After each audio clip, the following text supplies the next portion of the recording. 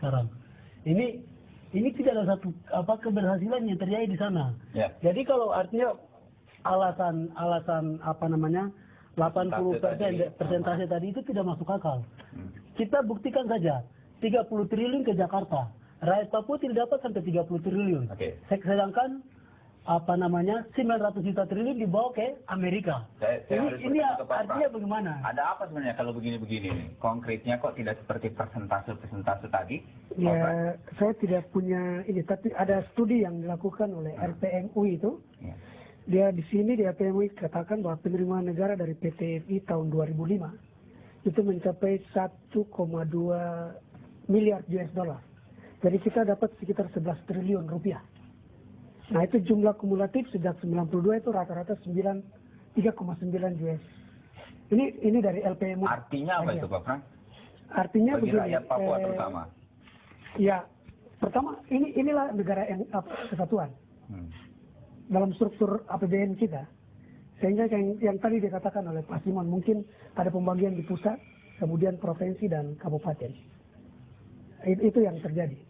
Jadi kalau- ke mana dana ah, sebesar itu? dana- masih ada masyarakat di sekitar PT Freeport. Saya Ah. tidak bicara jauh. Ya, Harus bersusah payah, harus sampai dilarang-larang untuk sekedar mencari mendulang emas di Hmm. sekitar PT Freeport yang sudah menjadi bagian budaya mereka.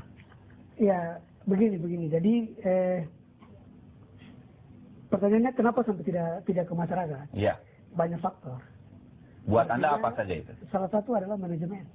Seperti tadi Bung Manajemen di mana? katakan. Pemerintah pusat, pemerintah pusat pemerintah dan daerah? pemerintah daerah dalam hal pembagian hasil. Hmm. Itu itu jadi pertanyaan hubungan antara pusat dan daerah. Itu kan jadi persoalan. Di Orde Baru sangat sentralistik. Hmm. Anda Anda melihat begitu juga, Iya. Cilo? apa jangan, jangan salah juga bahwa Freeport dia membentuk eh, apa namanya lembaga-lembaga swadaya masyarakat, dia membentuk apa namanya elemen-elemen organisasi sosial, dia organisasi lokal yang di mana orang-orang itu bermesraan dengan Freeport, begitu. Contohnya tahun 91 misalnya itu terjadi apa namanya pemberontakan kemudian pecahlah konsensi satu persen bagi apa namanya apa pemilik hak atau rakyat Papua keseluruhan misalnya. Bagi Anda itu tidak menguntungkan Nah. juga bagi warga Papua. Ya itu Apa yang terjadi dengan. PT Freeport yang membentuk LSM LSM begitu tidak tidak menguntungkan juga? Tidak menguntungkan. Artinya bahwa apa namanya Freeport itu dia apa namanya merubah struktur kehidupan rakyat apa penduduk setempat itu lebih parah daripada konsesi yang dia kasih. Hmm. Dalam arti bahwa ketika hutan yang begitu banyak, begitu lebat, hutan yang begitu rimba, yang biasa menyediakan apa namanya eh, sumber-sumber makanan yang ada karena memang penduduk di sana hidup dengan sangat tradisional misalnya. Ini kemudian disulap oleh Freeport jadi sebuah lapangan terbang yang begitu luas. Artinya bahwa konsensi itu tidak penting. Artinya bahwa apa namanya hasil-hasil Freeport kita berbicara tentang hasil Freeport sekarang pun tidak akan kena. Ya.